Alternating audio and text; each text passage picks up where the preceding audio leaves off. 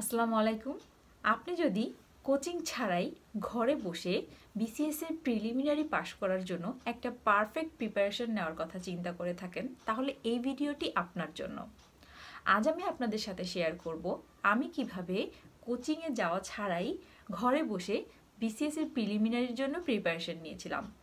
আমার কিছু কৌশল ছিল আমি মনে করি এই জিনিসগুলো ফলো করলে আপনারাও ঘরে বসে একটি পারফেক্ট প্রিপারেশন নিতে পারবেন এবং সফলতার সাথে বিশেষ প্রিলিমিনারি পাশ করতে পারেন প্রিলিমিনারিতে পাশ করার জন্য সর্বপ্রথম সিলেবাস সম্পর্কে আপনার একটি পরিষ্কার ধারণা থাকতে হবে।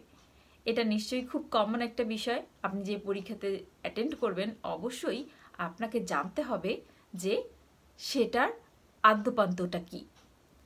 আপনি একটি সিলেবাসের কপি সবসময় আপনার টেবিলে রাখবেন। কিছু টিপস আপনাকে অবশ্যই ফলো করতে হবে।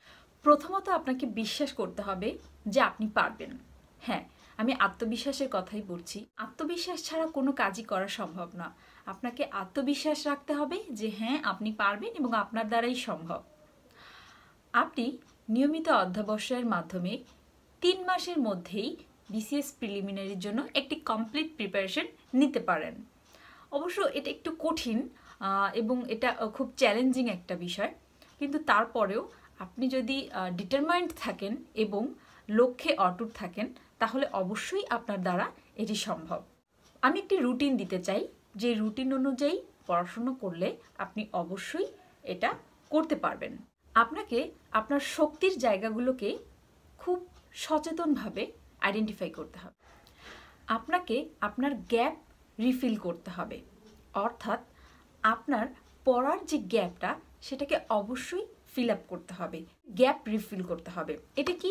এটা হচ্ছে, মনে করেন আপনি গত এক সপ্তাহের মধ্যে চার দিন পড়েছেন এবং তিন দিন পড়তে পারেন অথবা দুই দিন পড়তে পারেননি তো ওই দুই দিন আপনাকে পরবর্তী সপ্তাহে ওই পড়াটা রিফিল করে নিতে হবে। অর্থাৎ এক্সট্রা প্রেশার নিয়ে নিজেকে পেইন দিয়ে অতিরিক্ত কষ্ট করে পড়াটা পড়ে নিতে। নিজেকে পেইন দিয়ে পড়ার কথার অর্থ হচ্ছে হয়তো বা আপনি একটু রাত জাগলেন, বেশি রাত জেগে পড়াটা পড়লেন, অথবা নিজের বিশ্রামের সময়টাতে আপনি ওই পড়াটা পড়ে নিলেন, অথবা খুব ভোরে ঘুম থেকে উঠে আপনি ওই সাবজেক্টটা কভার করে নিলেন। এভাবে নিজেকে পেইন দিয়ে হলেও আপনাকে নির্ধারিত পড়াটা কভার করতেই হবে। ইট মাস্ট বি ডান আমার অনেকগুলো সাবজেক্টে দুর্বলতা ছিল। আমি সাধারণ জ্ঞান ভয় পেতাম, আমি ম্যাথ ভয় পেতাম, আমি বিজ্ঞানকে ভয় পেতাম, আমি ভূগোল বা এই বিষয়গুলোকে ভয় পেতাম। একটা জায়গাতে একটু দুর্বলতা কম ছিল বা একটু ভালোই পারি বলতে গেলে সেটা হচ্ছে আমি ইংলিশ গ্রামারটা পারতাম ভালো ভোকাবুলারি ভালো পারতাম। তো দেখেন আমার অনেকগুলো সাবজেক্টেই কিন্তু দুর্বলতা ছিল। সো ওই দুর্বলতার জায়গাগুলোকে আপনাকে ভয় পেয়ে এড়িয়ে গেলে চলবে না। দুর্বলতার জায়গাগুলোকে আপনাকে কাটিয়ে উঠতে হবে, যাতে আপনি যুদ্ধে হেরে না যান। তো যদি আপনি ম্যাথে দুর্বল হন, তাহলে অন্য সাবজেক্টের পাশাপাশি প্রতিদিন কিছু ম্যাথ করবেন ম্যাথ এবং মানসিক দক্ষতা। আর যদি আপনি ইংলিশ গ্রামারে দুর্বল হন, তাহলে আপনি গ্রামারটাকে কন্টিনিউ করবেন অন্য সাবজেক্টের পাশাপাশি। আর একটা বিষয় না বললেই নয়, সেটা হচ্ছে প্রিলিমিনারিতে টেকার জন্য আসলে পড়ার চেয়ে প্র্যাকটিস করাটা বেশি জরুরি। আপনি যত বেশি প্র্যাকটিস করবেন, যত বেশি রিভিশন দিবেন, তত বেশি আপনি পারফেক্টলি আনসার করতে পারবেন। শিওর হয়ে দাগানোটা কিন্তু বেশি জরুরি। কারণ রিস্ক ফ্যাক্টরটা থেকেই যায়। আর যেহেতু এখানে point five marks negative marks আপনি যদি একটা ভুল করেন সো সেক্ষেত্রে শিওর হয়ে দাগানোটাই কিন্তু বুদ্ধিমানের কাজ হবে।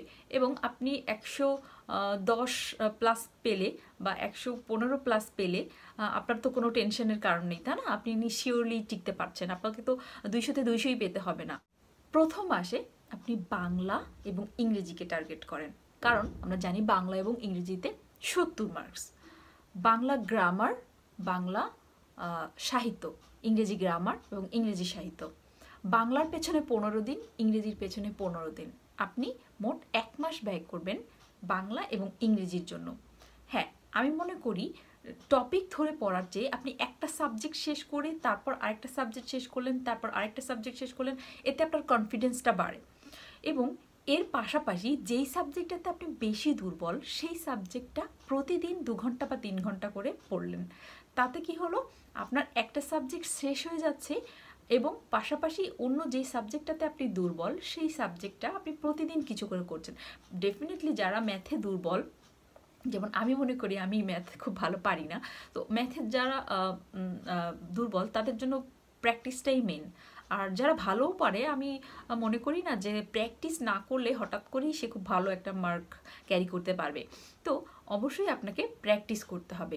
ম্যাথ এবং ইংলিশ গ্রামার এবং হচ্ছে বিজ্ঞান। এই জিনিসগুলোতে বেশিরভাগ ছাত্রছাত্রী দুর্বল থাকে। যার কারণে এই এই জায়গাটাকে আপনাকে নারিশ করতে হবে।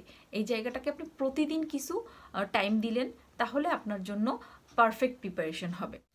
দ্বিতীয় মাসে আমি বাংলাদেশ বিষয়াবলী এবং আন্তর্জাতিক বিষয়াবলী পড়ার জন্য সাজেস্ট করব। যেহেতু বাংলাদেশ বিষয়াবলীতে একটা বড় মার্কস আছে, বাংলাদেশ বিষয়াবলীর জন্য বিশ দিন এবং আন্তর্জাতিক বিষয়াবলীর জন্য দশ দিন। এই প্রথম এবং দ্বিতীয় মাসের পরে তৃতীয় মাসে বিজ্ঞান, কম্পিউটার এবং ম্যাথ ও মানসিক দক্ষতার উপর নজর দিবেন। বিজ্ঞান এবং কম্পিউটারের জন্য পনেরো দিন, ম্যাথ এবং মানসিক দক্ষতার জন্য পনেরো দিন।